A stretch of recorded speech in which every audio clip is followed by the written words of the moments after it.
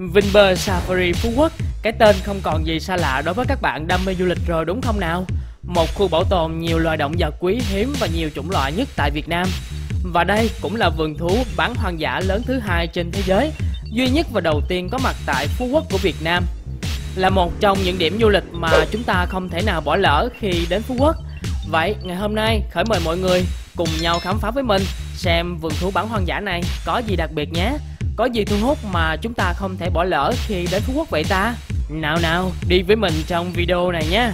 Trước tiên, đến đây các bạn sẽ choáng ngợp với diện tích cực kỳ lớn của nó nằm ở giữa mảnh rừng nguyên sinh ở phía bắc đảo Phú Quốc với diện tích hơn 380 hecta với quy mô nuôi nhốt hơn 3.000 cá thể thuộc hơn 150 chủng loài động vật khác nhau đến từ các khu vực như châu Âu, châu Mỹ, Nam Phi, vân vân. Rồi động lớn như vậy, làm sao chúng ta đi hết trong một buổi? Vì vé mình mua chỉ sử dụng được trong ngày, đừng lo, Khởi sẽ tóm tắt những nơi mà các bạn sẽ khám phá và tránh bỏ lỡ những điều thú vị như sau. Đầu tiên là nhất định mình phải xem cho bằng được cái show biểu diễn của các loài chim lông vũ. Show này phải nói là rất hay và chuyên nghiệp, không khác gì một đạp ship luôn nha mọi người, rất điêu luyện. Kế tiếp là xem biểu diễn điệu nhảy Zulu của bộ tộc nổi tiếng và đông dân nhất tại Nam Phi, đó chính là bộ tộc Zulu. Khám phá công viên sở thú với nhiều chủng loại như hưu, bò tót, sư tử, vân vân. Và điều đặc biệt cuối cùng là mình đi vào khu vườn thú bán hoang dã đầu tiên có mặt tại Việt Nam với diện tích vô cùng rộng lớn với vô số loài các loài động vật được nuôi thả tự do đang được bảo tồn và nuôi dưỡng tại Safari Phú Quốc. Rất là hay ho và này nọ luôn nha các bạn. Cùng đi với Khởi đến cuối video này nha. Đừng quên nhấn like và đăng ký kênh youtube của mình nếu cảm thấy hay. Xin cảm ơn các bạn. Giờ thì bắt đầu đi thôi nào.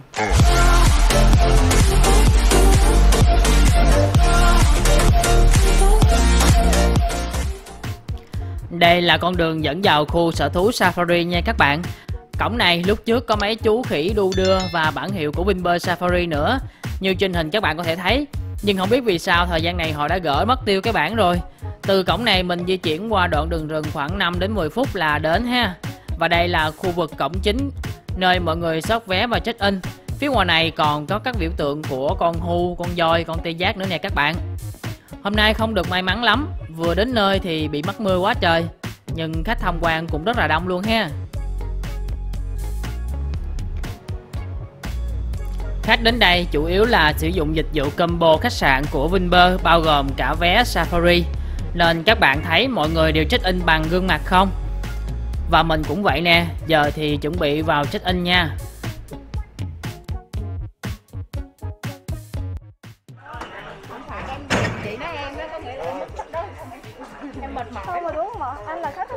Đúng Đúng rồi anh xin lỗi nhưng mà máy này hiện tại nó đang bị lỗi bị lỗi làm gì cho nên anh vui lòng di chuyển khu vực bên này anh nhận điện thoại giúp em à nó màu xanh rồi nè anh À được chưa? Là được rồi đúng không? Rồi, vừa vào cổng sẽ có anh hướng dẫn viên ngay bên cổng hướng dẫn mọi người về sơ đồ của từng khu sở thú cho mọi người dễ đi và dễ nắm được ha. Như trên bản đồ sẽ có hai khu tách biệt. Phần bao quanh màu đỏ phía trên là khu safari hay còn gọi là khu động vật bán hoang dã. Tại đây tất cả các loài sẽ được thả tự do trong tự nhiên và mình chỉ được tham quan bằng xe bus. Nhưng xe bus là miễn phí nha mọi người. Cứ 15 phút sẽ có một chuyến xe bus khởi hành. Còn bên dưới bản đồ, phần màu vàng là khu vườn thú nuôi nhốt để mọi người có thể tự do tham quan từng loài. Và nếu các bạn không muốn đi bộ ở khu vực này, vẫn có dịch vụ cho thuê xe Jeep để chở mình đi tham quan. Nhưng sẽ khá bất tiện là mọi người không được xuống dọc đường. Lời khuyên của mình là nên đi bộ để được tham quan hết ha. Chứ đi trên xe thì sẽ không tham quan được gì nhiều đâu. Trước khi bắt đầu đi tham quan hai khu trên, thì phía ngoài cổng sẽ có tổ chức nhảy vũ điệu Zulu của bộ tộc Zulu lớn nhất và nổi tiếng ở Nam Phi. Các bạn vũ công đều là người bản địa luôn nhé mọi người. Thời gian bắt đầu nhảy của vũ điệu này là từ 9 giờ 20 đến 9 giờ 50 sáng. Mọi người tranh thủ tới sớm để xem vì dịch bệnh vẫn còn đang phức tạp nên ở đây họ không tổ chức nhiều khung giờ như trước nữa. Rồi, xem xong vũ điệu Zulu là các bạn nhanh chân mình di chuyển vào bên trong khu vực khán đài để tìm một cái chỗ nào đó đẹp đẹp để mình xem biểu diễn động vật luôn ha. Chương trình này cũng nằm trong vé của các bạn luôn rồi. Thì 10 giờ là bắt đầu, mình đang di chuyển vào bên trong nha. Wow, đông người xem quá các bạn, kín chỗ hết luôn ấy. Đây là chương trình biểu diễn động vật đặc biệt chỉ có tại Safari Phú Quốc. Mời các bạn xem với mình nha. Congratulations, good job các cậu because lời nói đầu tiên xin cho phép MC Minh Khánh cùng với các bạn của địa viên xin được trở lại Và đây là anh chàng dẫn chương trình biểu diễn ngày hôm nay Cùng với sự xuất hiện chớp nhoáng của một đàn bồ câu bay lượn phía sau Mở màn đầu tiên là sự xuất hiện của một loài chim lông vũ đến từ châu Phi, xíu vương miệng xám. Loài động vật sống ở thảo nguyên khô cằn ở sa mạc Sahara châu Phi. Trên đầu của chúng có chùm lông giống như chiếc viên miệng vậy đó các bạn. Có cho một thân hình rất xinh đẹp và chiều cao đạt 1,1 mét khi trưởng thành. Sải cánh có thể dài lên đến hơn 2 mét và chiều cao uh, và cân nặng của các bạn ấy có thể đạt đến 13,5 kg khi trưởng thành.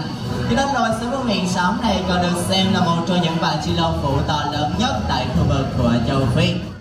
Và đó là sếu vương miệng sống của châu Phi có cho một chút lông rất xinh đẹp được ví như là chiếc vương miệng thuộc về các bạn đây. Ngay sau đây hãy dành một tràng với lớn từ chúng ta cho sếu vương miệng của châu Phi. Thank you.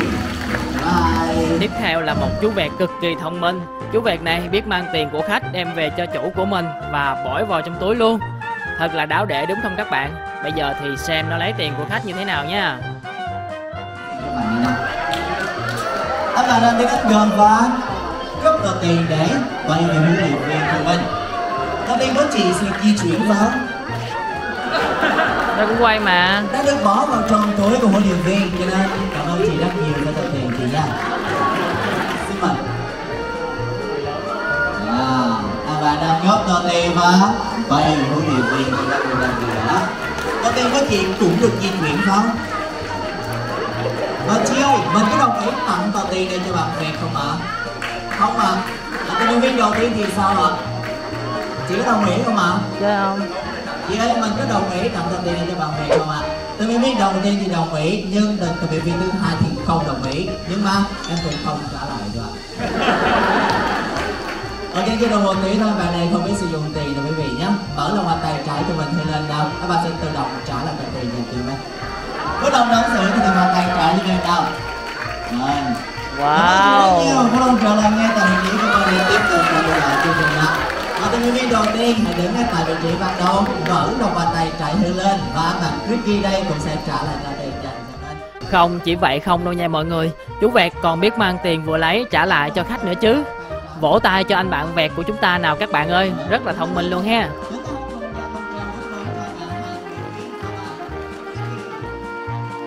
Còn đây là hồng hạt đất của Việt Nam Nó vô cùng dễ thương luôn đó các bạn Hãy xem nha cảm nhận sức gió thì nhé. Có thêm một chiếc mỏ rất đặc biệt được cấu tạo từ một chất là chất keratin và các sừng chấm này được dùng tóc và móng tay của con người. Chiếc quay hình thù rất đặc biệt, đúng không ạ? Với lực bằng đôi cánh thì không có gì đặc biệt, nhưng khi em bằng di chuyển bằng đôi chân quý vị hãy quan sát điều gần gần nhé. Xin mời chào mừng.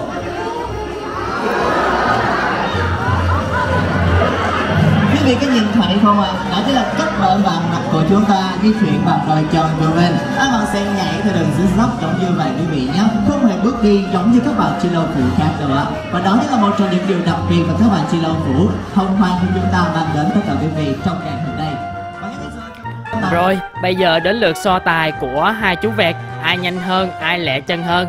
Hai anh bạn này sẽ bắt đầu thi đấu với nhau bằng cách gấp ba quả banh để đằng xa, chạy tới bỏ vào thùng.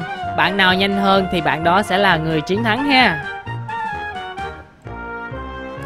Thật sự mà nói, đây cũng là lần đầu tiên mình xem trực tiếp chương trình biểu diễn động vật như thế này đó mọi người. Xem trực tiếp ở đây cảm giác nó thích thú gì đâu luôn á. Chương trình này nó diễn ra vào lúc 10 giờ sáng cho nên là mọi người tranh thủ mình có đi thì đi sớm để đừng bỏ lỡ cái chương trình này thật sự rất ổn nha các bạn. Rồi, bây giờ tới cái phần đặc biệt nhất của chương trình biểu diễn động vật là phần kết nè mọi người. Quá trời quá đất luôn rồi ta ơi Giống như là đi diễu hành vậy đó mọi người. Nào là chim bự, chim nhỏ, chim vừa vừa Đủ loại luôn, ta hồ cho mọi người ngắm nè. Và một điều rất đặc biệt nữa là những chú chim này rất nghe lời và biết nghe lời nha các bạn. Bây giờ hãy nghe anh huấn luyện viên chúng ta kêu gọi hai chú chim bay từ trong rừng bay ra nè. Chi đầu thủ tiếp theo được tìm thấy tại khu vực của châu Mỹ. Wow.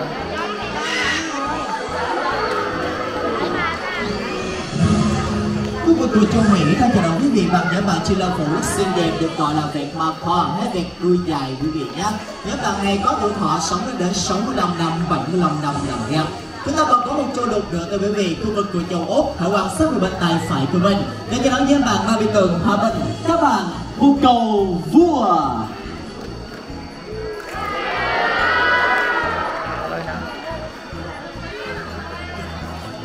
Vâng và đó là sự xuất hiện của những bạn hồ cầu vua những bạn fan của chúng ta tại khu vực của châu Mỹ. Để bạn chim ngất khu vực của châu Phi, châu Á trong đó có cả Việt Nam của chúng ta. Để các bạn trên trình biểu diễn động vật sẵn ngày hôm nay rồi đi ạ. Hãy dành một tràng rất lớn từ quý vị dành cho các huấn luyện viên của chúng tôi. Rồi, như vậy mình vừa xem xong chương trình biểu diễn động vật. Bây giờ mình bắt đầu khám phá hai khu công viên thú nha mọi người. Mở màn loài động vật đầu tiên mình khám phá được thấy đó chính là hồng hạc đầu đỏ, hồng hạc hồng. Ở dưới hồ đây có rất nhiều các loại chim hồng hạc luôn. Nhìn đẹp quá xá ha mọi người, giống như trong tranh vậy. Hồi xưa giờ mình toàn thấy trên tivi, trên tranh không à Giờ mới được thấy tận mắt nè. Vẫn nghĩ nó như đồ giả ấy mọi người Nếu mà nó không chuyển động Mà khởi đố các bạn một điều nè. Có ai biết một đặc tính rất đặc biệt của hồng hạc là gì không ta? Mà thôi, mình trả lời luôn nè đó chính là chúng chỉ đứng trên một chân thôi nha mọi người. Chỉ khi di chuyển nó mới đi bằng hai chân. Còn khi ngủ hoặc đứng im thì chỉ dùng một chân để đứng. Như các bạn có thể thấy trên màn hình có rất nhiều con đang chỉ đứng một chân thôi. Đặc biệt là ngay cả khi nó chết nó vẫn đứng một chân nha mọi người.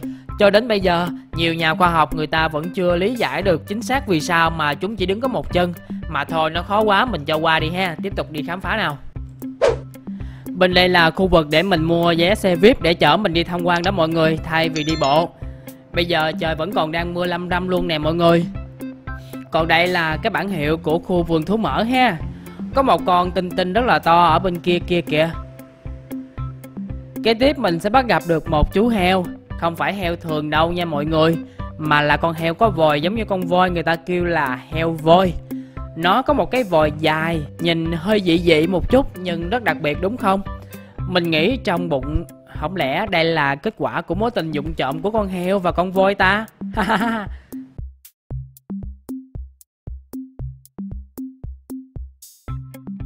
Rồi, tiếp tục đi qua khu vực khác.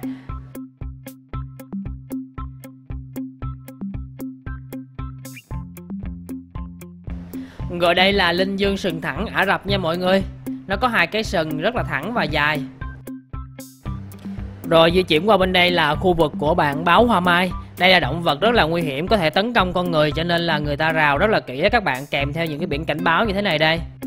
Động vật nguy hiểm không được leo trèo, không được chụp hình có plus. Và đây là chân dung của em ấy. Cái cổng khá là dày cho nên mình quay bên trong cũng không rõ lắm nha mọi người. Để mình zoom lại nè. Đó. Anh ấy đang nằm bên trong kìa.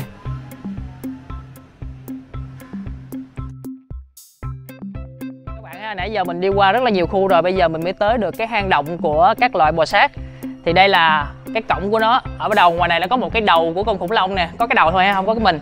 Giống như ờ, cái này là giống gì ta? Giống như cái đầu lâu lâu vậy á. Nhìn thấy quyền bí vậy ha. Bây giờ mình sẽ đi vào bên trong xem bên trong khu vực này có những loại động vật nào ha. Thì đây là hang động của các bạn bò sát thì chỉ có bò sát thôi nha mọi người. Trong đây có kỳ đà nè kỳ nhông nè à, cá sấu nữa nè rồi có kỳ đà đỏ nè, trăng rồi rắn nữa. Thì chỉ có vậy thôi. Bây giờ mình tiếp tục qua khu vực của các bạn voi dễ thương nè. Ở đây có hai vợ chồng của cặp voi này rất là nhiệt tình luôn, rất là thân thiện với du khách luôn. Mà các bạn biết vì sao nó thân thiện không? Bởi vì khách tới đều mang đồ ăn cho hai bạn này ăn, cho nên là hai bạn này rất là háo hức đón khách luôn. Coi kìa, hai cái vòi lấy đồ ăn liên tục luôn. Đồ ăn này thì mình mua ở ngoài quầy ngoài kia có bán cho các bạn này ăn Thì bạn nào muốn chụp hình hay là quay phim hay là muốn uh, giao lưu với các bạn voi thì mình mua một phần hoặc hai phần gì đó cho các bạn ăn. Chứ không được cho các bạn ăn thức ăn tùy ý ha. Rồi tạm biệt khu vực voi châu Á nha. Có hai bạn voi rất là dễ thương luôn. Bây giờ mình sẽ tiếp tục đi khám phá những cái động vật khác ha các bạn. Hồi nãy thì mình có đi qua khu vực của các bạn Linh Dương Sừng Thắng. Còn đây là Linh Dương Sừng Kiếm nha các bạn. Nó thấy mình quay hình nó, Cái nó đứng hình, nó nhìn mình lơm lơm luôn mọi người. Mà kêu thì không lợi. Quay quay. Ok, không lợi thì thôi, Không lợi thì tao đi. Kế bên này là linh dương bongo màu đỏ. Nó cũng sống chung với bầy linh dương sừng kiếm hồi nãy luôn nha mọi người. Nhìn nó giống con ngựa vàng ha. Rồi nhà hàng xóm kế bên là anh bò tót vô cùng lực lưỡng và to con luôn đây là một trong những chiến binh đấu vật nổi tiếng khắp thế giới. Mình có nghe nói là các anh bò tót này đều đã được làm cho mù màu Cho nên là các bạn sẽ không thấy được màu. Mọi người cứ yên tâm mà mặc đồ đỏ không sợ bị hút đâu nha. Đây là bò tót hay còn gọi là bò hút. À à, đây mới là chúa tể của Sơn Lâm đây, sư tử trắng ha. Một mình một đảo luôn, bởi vì đây là động vật rất là nguy hiểm những lò như thế này người ta thường làm những cái hào ở phía trước các bạn để đảm bảo an toàn cho du khách khi tham quan. Cận cảnh lại ha, nhìn mặt hơi buồn nhưng mà rất là ngầu nha. Và cũng có một loài ngầu hơn Đó chính là hổ Nằm đối diện với khu vực của các bạn sư tử luôn ha. Cũng tương tự bên sư tử bên đây cũng có một cái hào ở phía trước. Ở ngoài miền Bắc thì người ta gọi là hổ Nhưng trong miền Nam người ta kêu là cọp nha mọi người.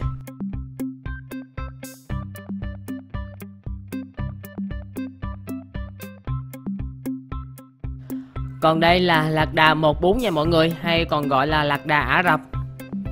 Một bú là cái bú ở trên lưng á mọi người, Cái gò ở trên lưng của con lạc đà là người ta kêu nó là cái bú. Thì có con nó sẽ có hai cái gò, Gọi là lạc đà hai bú. Thì con này nó chỉ có một bú thôi, Người ta gọi là lạc đà một bú. Tiếp tục mình sẽ di chuyển qua khu vực của các loại chim. Đây là cái cổng đi vô nè. Bird Aviary. Bird Aviary có nghĩa là chuồng chim nữa mọi người. Trong đây nó sẽ có một cái chuồng lưới rất là lớn ha. Ngay cổng vào có rất nhiều các loại vẹt có màu sắc khác nhau rất là đẹp luôn các bạn. Chúng đu trên cây kìa. Đây bên đây có nguyên một bầy vẹt luôn. Ngoài vẹt ra còn có nhiều loại chim khác nữa mọi người ạ. À, Như chim chích chè, hòa mi, hoành khuyên vân vân. Và bên đây có một bạn xíu đầu đỏ xuất hiện ngay giữa đường đi luôn. Nhưng vẫn có một bạn nhân viên của khu vườn thú ờ, bảo vệ nha các bạn bởi vì cái mỏ của con xíu đầu đỏ này nó rất là nhọn và to. Nếu mà mình lại gần không cẩn thận á, Bạn ấy mà mổ một cái là trọng thương luôn đấy, Không phải vừa đâu. Nhìn nó to quá hả mọi người? Cái chân kìa như người mẫu vậy đó, Dài quá trời dài luôn.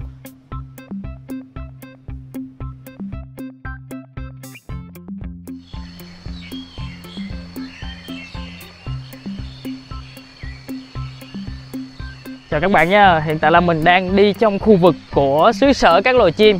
Như hồi nãy mình có nói là trong bên trong đây là nó có nguyên một cái lồng cao ở trên phía trên này luôn nè. Người ta sẽ bao lại cho những con chim, những con chim nó không có bay ra ngoài á. Ở trên đầu mình có một con chim rất là to mà không biết nó là chim gì luôn á các bạn. Thấy chưa? Nó đang rỉa chân của nó. Thấy chưa? Như vậy là mình đã đi sơ sơ được trong cái lồng chim này rồi đó mọi người.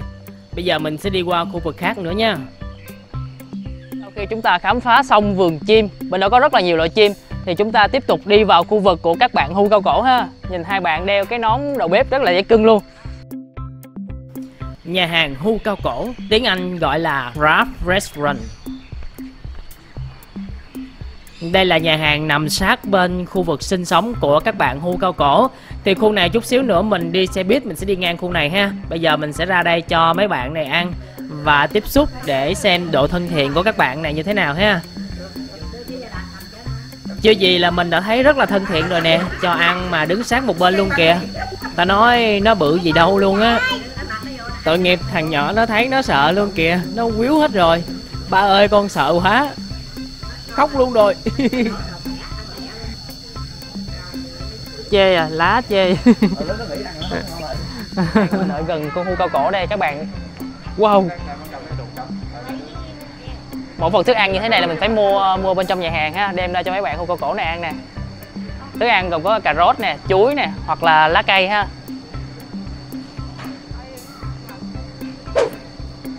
Wow và như vậy mình vừa tham quan xong khu vườn thú nuôi nhốt. Còn giờ thì chuẩn bị lên xe buýt, đi tham quan khu vườn thú bán quan giả nha mọi người. Khu mà người ta nói nhốt người thả thú. Còn cái khu mà mình đi nãy giờ đó là thả người nhốt thú nha. Giờ thì mời mọi người cùng lên xe buýt tham quan chung với Khởi nha. Bãi xe buýt này nằm gần cái nhà hàng khu cao cổ mà hồi nãy mình đi đó các bạn. Thì cứ 15 phút là sẽ có một chuyến xe buýt cho các bạn đi, Cho nên là không phải lo thiếu xe đâu ha. Và xe buýt là miễn phí nha mọi người.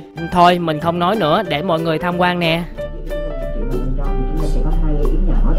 Là vui lòng tắt đèn quá trên điện thoại và không gõ tay rồi cửa kính xe bên vì những hành động chúng ta đọc tay vào cửa kính hoặc đèn quá nhắc nháy liên tục sẽ khiến chúng ta hoảng sợ về phía sau và trong khác và khiến mình rất khó quan sát thì cảm ơn rất nhiều ạ và ngôi nhà đầu tiên được đón chúng ta ở Safari tức là nơi sinh sống của rất nhiều các bạn là học ăn cỏ đến từ châu Á chúng ta mình chờ đón xem là mình sẽ chúng ta đầu tiên nhé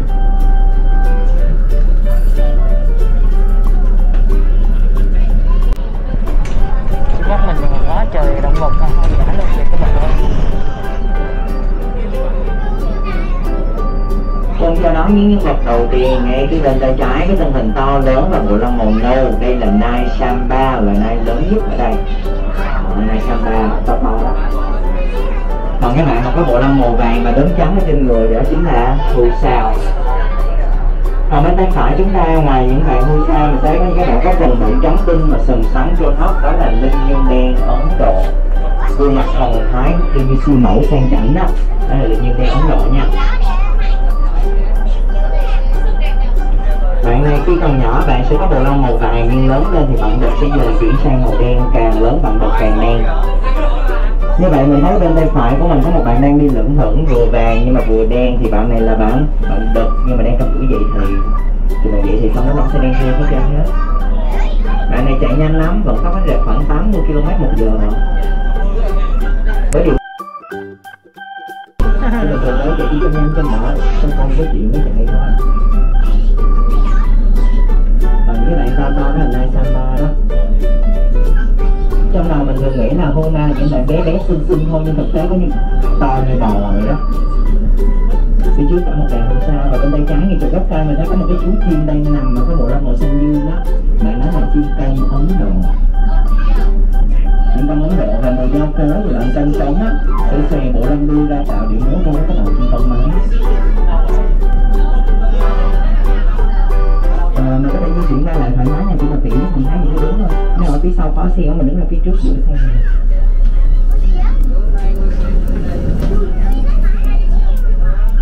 đối với các bạn. Đối với các bạn hưu vành nai thì chỉ có đực mới có sừng cái không có sừng sừng này mỗi năm nó sẽ thay mới một lần và khi mới mọc nó sẽ được bao bọc trong một lớp da nhung mà mình gọi là nhung hưu. Nói chung nó là năm nào cũng mọc sừng hết. Và chỉ có đực mới có sừng thôi. Và đúng là cứ cuối mùa thu là nó rụng, xong đầu mùa hè nó mọc lại. Cái phần nhung hưu là cái phần mình thấy bên tay trái, cái phần đỏ đỏ đó. Các bạn mà có sừng mọc theo hình cánh cung là giống như sừng lọt ở trong mái chòi á, bạn đó là nai cà tông. Thì cái phần nhung hưu là cái phần đỏ đỏ đó. Ờ, Thường á khi mà ở ngoài mình thấy người ta khai thác nhiều hơn á, là khi là người ta khai thác phần đỏ đỏ đó đó và khi cắt ngang như vậy, máu sẽ chảy ra rất là nhiều và tuổi thọ của bạn sẽ giảm. Dĩ nhiên rồi, mình cắt đứt một phần cơ thể mà.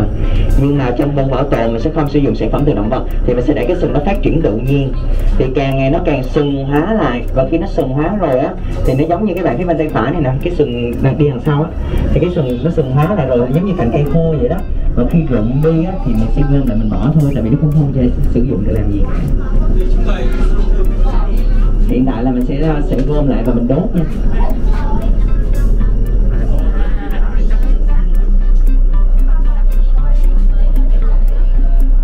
Thì chúng ta nhìn thấy cánh cổng rào hai lớp phía trước. Chúng ta sẽ tạm thời chia tay với các bạn động vật ăn cỏ hiền lành để tiến dần vào thế giới của các bạn động vật ăn thịt nguy hiểm ạ.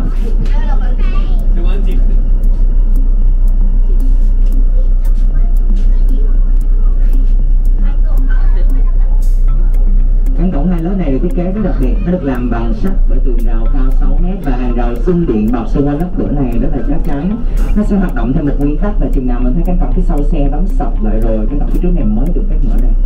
Nghĩa là không bao giờ có chuyện mà cả hai lớp cửa mở cùng một lúc khác. Nó sẽ đảm bảo an toàn cho bạn vật ăn cỏ phía bên ngoài. Và cánh rừng già phía trước này, mình có đoán được đây là nơi sống của bạn nào? Loài thú lớn nhất trong mọi nhà mèo và có các vằn đen ở trên lưng báo là đốm thôi, để tạo thành vệt dài thì đó là hổ. Ở trong nam người ta gọi là cọp nha. Và thường các bạn hổ có khả năng chịu nhiệt rất là kém nên thường các bạn sẽ trú trong bóng râm và bụi rậm là chủ yếu thôi. Bây giờ mình sẽ cùng vào trong và tìm xem các bạn hổ đang trốn ở đâu trong cái khu rừng già này nhé ăn thịt mà con ăn thỏ ăn rau ăn rau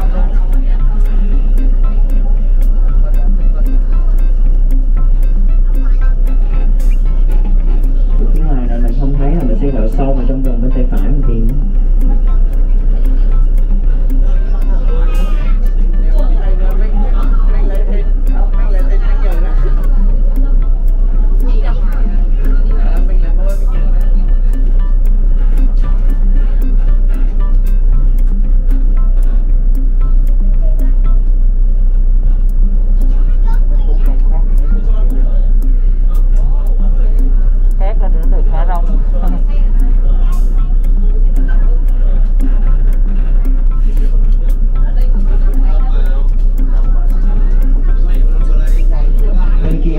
mà nhìn bên kia là suối có một cái bạn mà đang ngay ngoảy cái đuôi á. Phải được chưa ngay chỗ giữa xe bên kia là suối đúng rồi. Thì mổ hơi cực nha tại vì thường là bạn sẽ trúng vào bụi rậm hay vậy đó. Đó nó nằm dài đó. Nó đang quay ngoảy cái đuôi đó.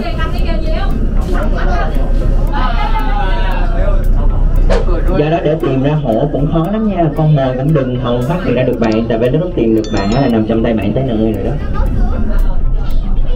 chúng ta sẽ cùng di chuyển tìm tí nhé một ngày nó ăn bao nhiêu ký thịt anh mỗi ngày bạn hổ sẽ ăn trung bình từ 3 đến 4 kg thịt chủ yếu là thịt bò tươi và thịt gà tươi. Và để cho các bạn ăn thì các nhân viên sẽ dùng cái xe nhỏ hơn cái nhỏ rồi nó được bọc hết ở xung quanh á. Các sẽ quan thức ăn môi trường tự nhiên các bạn sẽ tự đánh hơi và tìm kiếm. Hoặc là có một cách nữa người ta sẽ móc miếng thịt vào trong cái đồng độc á. Khi mà ta giục cái đồng độc như là cái mà vừa con mồi tự nhiên vậy đó. Nhà mấy cử ở à. tay trái mình có một bạn đang nằm kìa xe chỗ phụ cây cỏ đó. Thấy không à anh đó nó ngủ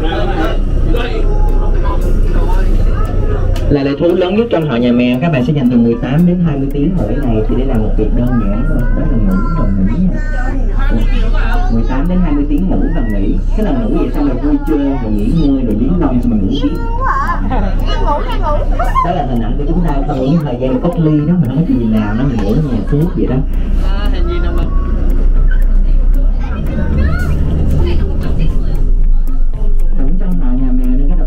Lười y chang con mèo ở nhà mình vậy đó. Có con nào đi đi nha nhìn cho đã. Thì cái đằng trước có Bên con bờ suối có một cái bạn đang di chuyển. Mà tên mắt hơn á nhưng mà cái bạn này sẽ hơi khó nhìn tại vì bạn đang đi sát cái hàng rào cái bên tay phải thì trước mặt thì khó ở trước mặt. Ở trước mặt mình sẽ nhìn rõ hơn nhá. Thôi mình cái bạn phía trước này cho dễ nha. Bạn bên kia hơi khó nhìn một tí như vậy thì nhắc đến hổ chúng ta sẽ có hai đặc tính. Một là rất là lười cả ngày ngủ nghỉ và vui chơi. Và thứ hai rất là sợ đen da, nên là hiếm khi ra đường mà trời nắng thôi vừa lười mà vừa sợ đen da nữa. Có ai tìm thấy chính bản thân mình trong đó không? Không à.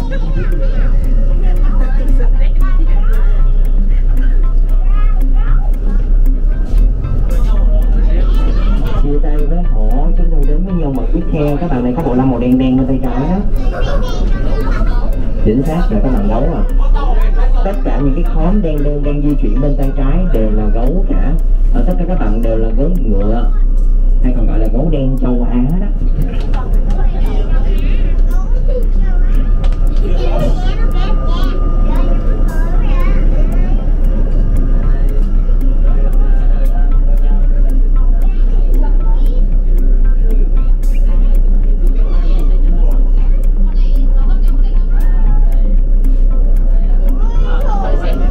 Phía trước này có có hai bạn đang đi ra nên mình sẽ nhìn dễ hơn. Còn mấy bạn bên tay trái sau mình hơi khó nhìn và nhìn phía trước bên tay trái dễ hơn nè.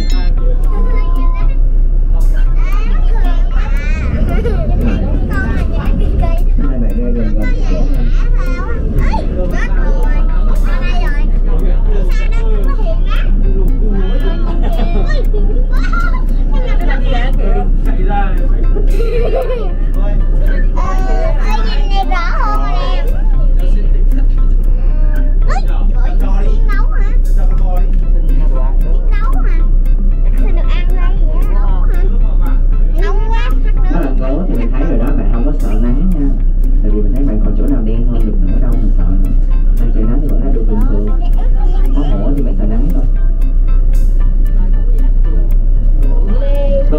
cân nó sẽ dao động từ 60 đến khoảng 200 kg khi trưởng thành còn xa xa bên tay trái có hai bạn gấu đen dở mọi người thấy không? Bạn có thể đứng được bằng hai chân nha. Cái là gõ thôi, chứ không phải đấu nhau đâu. Tại vì để cho mọi người dễ hình dung thì một cái tác của một bạn gấu làm cho một bạn hổ chỉ lên chịu xuống lận chứ không phải nhẹ nhàng gì đâu không cái là chỉ là bị dưỡng sưng sưng thôi. Đúng là khi đứng được bằng hai chân thì bạn sẽ di chuyển được quãng đường dài khoảng 40 mét cũng dài đấy chứ còn hầu hết khi chạy sẽ chạy bằng bốn chân mà sử dụng tay như vũ khí của mình vậy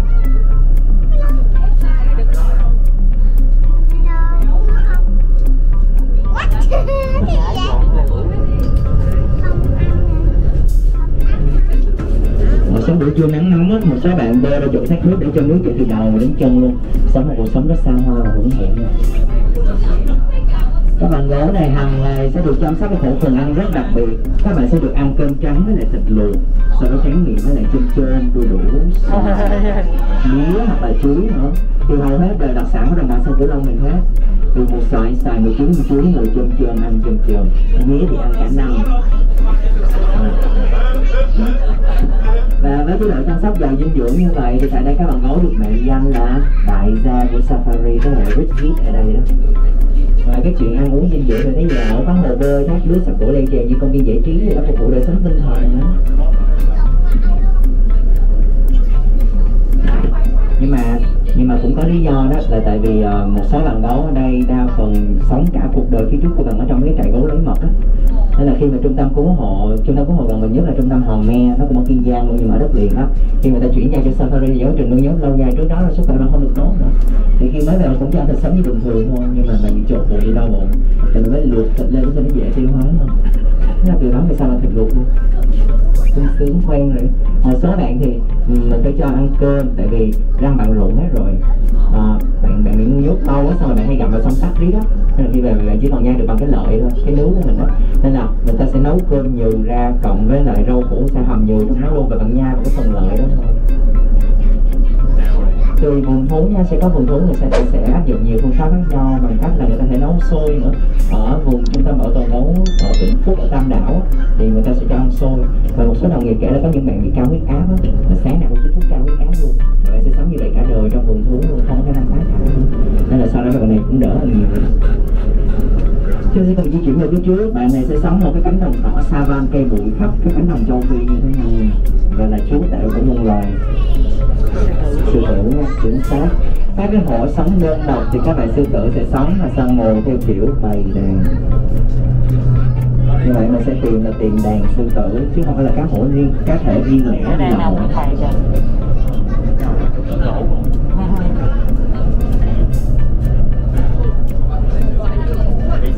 một số bạn hồ sư tử thiên ngữ mình sẽ dạng hai chân lên luôn giống như này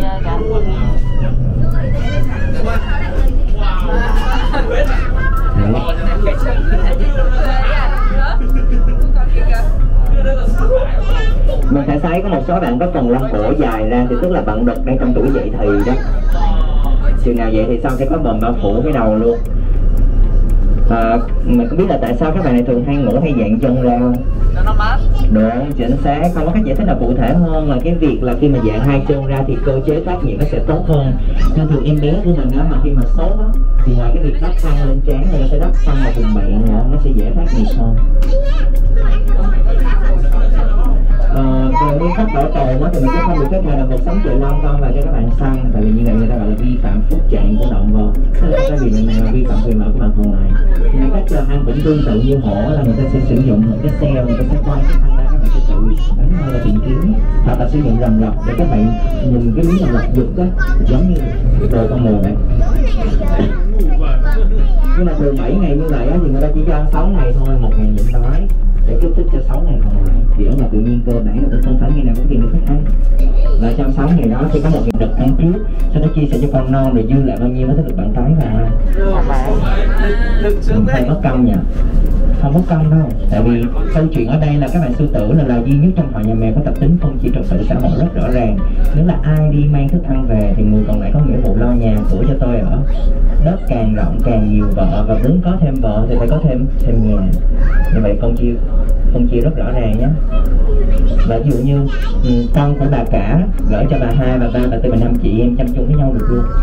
Nó tuy gia đình đông vợ con vậy thôi chứ hạnh phúc em ấm lắm so với hổ thì hổ thì giao phối xong thì đường ai nấy đi hổ mẹ tự sinh con thì trong con có một mình thôi. Và quan trọng á, là trong trái tim của bạn đực thì tất cả bạn cái sẽ ở vị trí ngang nhau hết không có phân chia thứ bậc hoàng hậu thứ phi gì cả. Đó là lý do giúp cho gia đình luôn hạnh phúc là vì vậy mình đến với nhân vật tiếp theo, những bạn thân hình to lớn và có sừng tiết mũi đây là bề giác. Bên tay trái chúng ta là những bạn tê giác con đang sống cùng với mẹ của mình. Mình thấy tay giác baby ra đời ngoài vườn thú chưa Safari là một trong những vườn thú hiếm hoa mình chờ nó được các bé tay giác con non thì trong hai bé đó cái bé nhỏ hơn bên tay phải á, là con nuôi. Con nuôi là tại vì sau khi mẹ bạn sinh bạn xong nó bị stress nó không có cho bạn bú mình thả chung là nay bạn này đồng ý cho bú luôn. À, người ta gọi là bị trầm cảm sâu sinh đó thì nó sẽ xảy ra đối với những bạn tê giác lần đầu làm mẹ luôn. Thì bạn này đang à, một nách hai con luôn nha nuôi hai bạn luôn thật ra thì chúng ta vẫn có thể nuôi được tê giáp bình thường, mình vẫn có thể quậy sữa vẫn cho bạn ăn cỏ được. Nhưng vấn đề là mình sẽ không thể dạy cho bạn trở thành một con tê giác trưởng thành được nếu như không sống cùng với một bạn trưởng thành. Ở tay trái là các bạn trưởng thành rồi đó. Đúng rồi, cái đó là đừng đó. Cái màu của bạn là cái màu xám xám kia kìa. Cái màu trắng trắng mà xám trắng á và cái chú này mình sẽ gặp rất nhiều các bà ngựa vàng và các bà lưng dương đông cư còn cái đàn gà bên tay phải nhỏ nhỏ đó bạn nói là gà sao gà sao con yêu vui sư tử hay đi chung với tê giác đó bạn gà này nè rất nhiều cái đàn ngựa vàng ở đây có mấy bạn ngựa vàng baby đó đó ngựa vàng baby bên tay phải này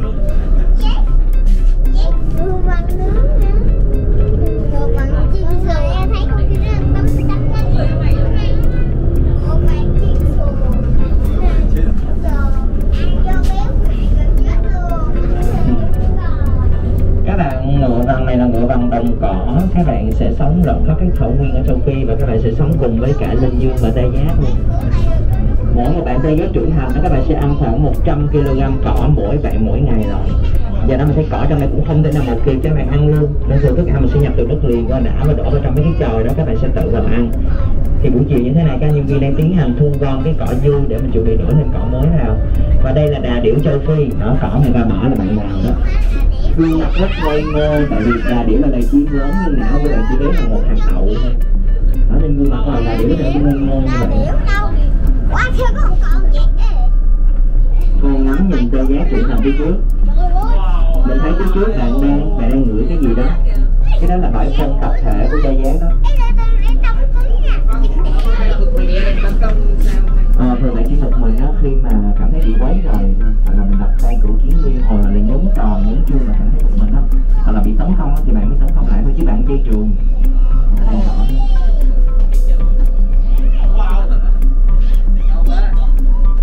Rồi, với hai cái chân sau nữa, mình biết bạn chuẩn bị làm gì rồi đó.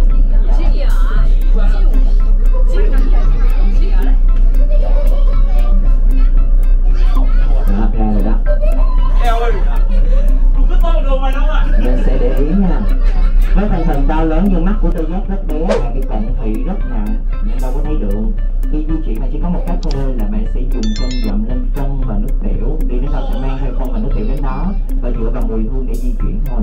Nên tê giác khi di chuyển, bạn sẽ có xu hướng để cái mũi sát mặt đất chắc phải ghe lại quá. Con đường của bạn khi di chuyển bạn sẽ để cái mũi sát mặt đất này thấy chưa mười phân ở tay trái thì để trái mười phân ở tay phải thì để phải do vậy thì đây là nhà của bạn thì mình tôn trọng mình lịch sự mình chờ nào bạn hành mình mang đúng do đó thường bạn sẽ dựa vào mùi là hết tất cả đều phải dựa vào mùi hết vì mùi cỏ tươi mùi chỗ nào có mùi cỏ thì bạn sẽ biết ôi cái quyền vi quyền nhỉ nuôi lại để lấy đá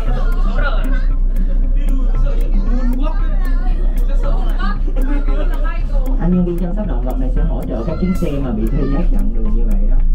Tại vì mình thấy là đôi khi mình sẽ đi nhầm vào con đường của bạn một tí, thì mình sẽ chờ một chút. Mà nếu như lâu quá mà bạn không tìm ra được lối đi thì hướng dẫn này sẽ chỉ đường cho bạn ra chứ nếu không mình ở đây tới chiều luôn đó.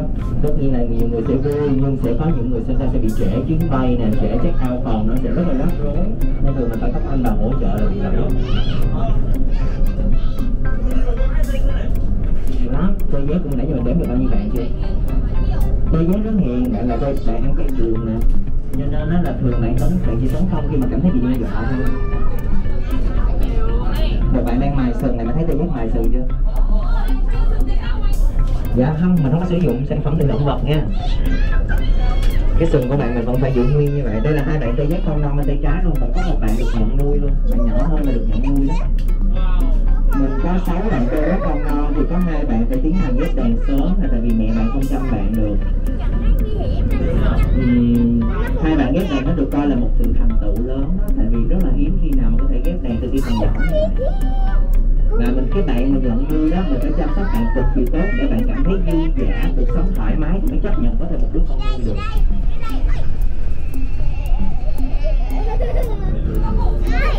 Chính xác, chúng ta đang đến với vùng đất Thảo Nguyên và đây là ngôi nhà của các bạn siêu mẫu trên cạn được ghi nhận là loại cao nhất cho đến hiện tại từ thời cổ. Và dĩ nhiên thì ngoài ra cổ tôi cánh đồng Thảo Nguyên này có rất nhiều các bạn linh dương, ngựa vàng và cả đà điểu đi lạc qua đây nữa. Đều biết rồi đó, mỡ của đà điểu chỉ bé là một hạt đậu thôi. Là bạn cứ đi qua đi lại mỗi ngày luôn nha.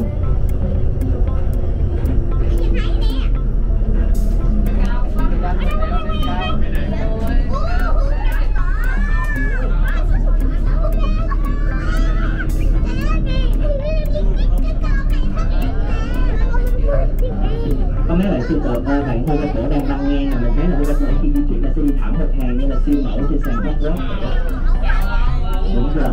Chân sau sẽ chạm lên chân, cái vị trí của chân trước. Do đó người ta gọi các bạn là siêu mẫu, không phải đơn giản chỉ là vì bạn chân dài, mà là khả năng quốc tư luyện bản sinh năng khiếu là giỏi rồi. Hàng mi rất dày chân rất dài, ăn uống từ tốn và di chuyển cũng điềm đạm. Đây là thần thái của hoa hậu Thấy chưa? Đi mà thấy bạn đi thẳng một hàng luôn nha Bên tay trái và bên tay phải thì là những cái bạn con non á Mấy cái bạn nhỏ nhỏ là con non á Có nhiều bạn chúng ta cổ baby được chào đời ở đây trong năm vừa rồi lắm Nhìn những bạn như vậy thôi nhưng các bạn chỉ mới một tuổi thôi ra đời năm 2020 Bởi vì mới chào đời là bạn cao 1m8 rồi. Cho nên là mình nhìn to như vậy chứ thật sự là mới chào đời năm ngoái là vẫn còn là em bé thôi. Bây giờ chắc thành 2 mét rồi đó. Một năm chắc được 20 cm luôn đó bên tay phải những cái bạn mà có cái vòng tròn trắng là sau mông. Bạn này là lưng dương nước. Bên tay trái cũng có. Lưng dương nước và mùi giao phớ, bạn cái là bờ mông càng căng tròn, vòng tròn càng trắng và càng sáng thì càng dễ thu hút bạn đực tức là bạn đực sẽ quan tâm là vòng tròn càng trắng là càng đẹp, nhưng mà không quan trọng lắm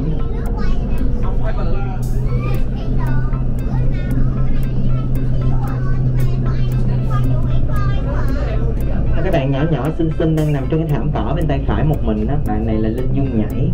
Bạn có thể nhảy xa tới 4 mét rồi chạy rất nhanh 88 km một giờ. Bạn nó nhát ừ, lâu lâu mới ra ít khi nào thường phải trốn cho cái bìa rừng bên tay trái. Nó trốn mấy cái rừng đó. Xong cho đón cả một đàn bò như là học sinh đi học nghề vậy đó. Xin giới thiệu Bò sừng dài châu Phi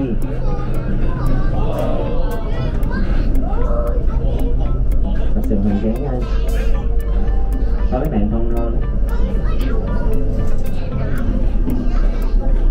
là có một cái bạn khỉ mau men đi lại kìa. Bạn khỉ này là ở cái bìa rừng bên tay phải đó, là dành thức ăn của cái lợn bò đó chứ không phải safari ở gần bạn phải là khỉ đuôi dài luôn ở cái bìa rừng phải là khỉ bản địa của của đảo phú quốc mình luôn.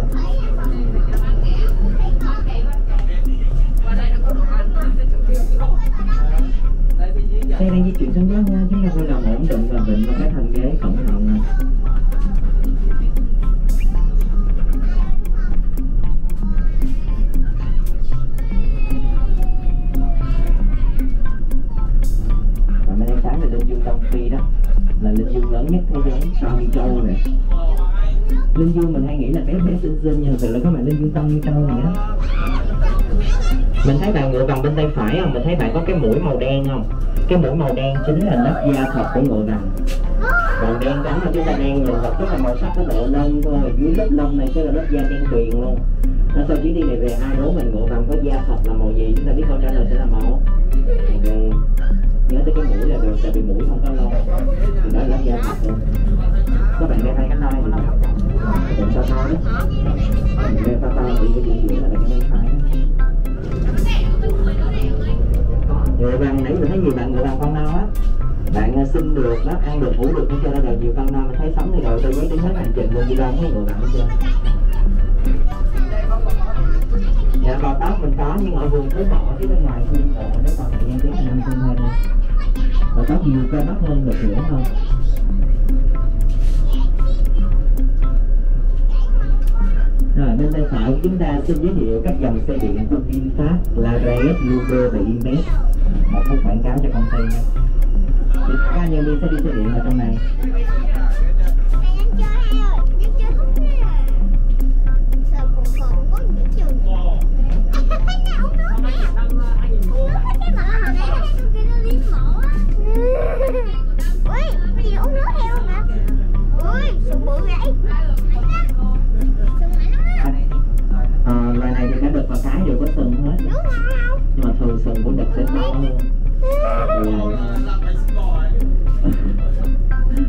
xương bò là lấy hình dáng thôi nha dạ có thường á là mà tự nhiên các bạn thường sẽ đấu nhau á là để giành thức ăn hoặc giành lấy người yêu nhưng mà thường trong khu bảo tồn thức ăn thường nhiều lắm nếu mà thấy đánh nhau thì chủ yếu là giành lấy bằng người yêu thôi. Mà thường là bạn đực giành lấy bạn cái chứ cũng không có trường hợp ghi nhận nào mà hai con cái giành lấy bạn đực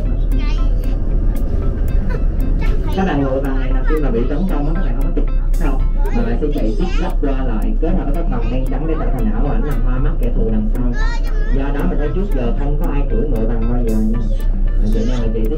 tiếp sắp chóng mặt lắm ai mà chịu nổi.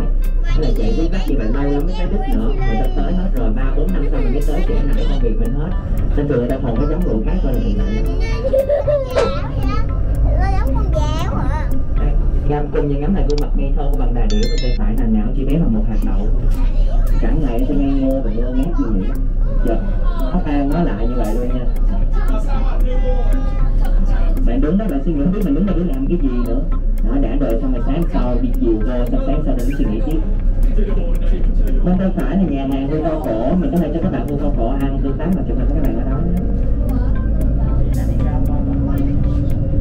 Nhé khi chúng ta nhìn thấy nhà này chúng ta sẽ khép lại hành trình tham quan safari. Đây gọi là đi thời gian ngắn chúng ta hiểu thêm về thế giới của các bạn đồng vào và hiểu được thông điệp bảo tồn mà viên safari muốn gửi đến khi mà chúng ta sẽ gặp lại nhau trong thời gian còn ngắn ngắn xin chào và hẹn gặp lại anh.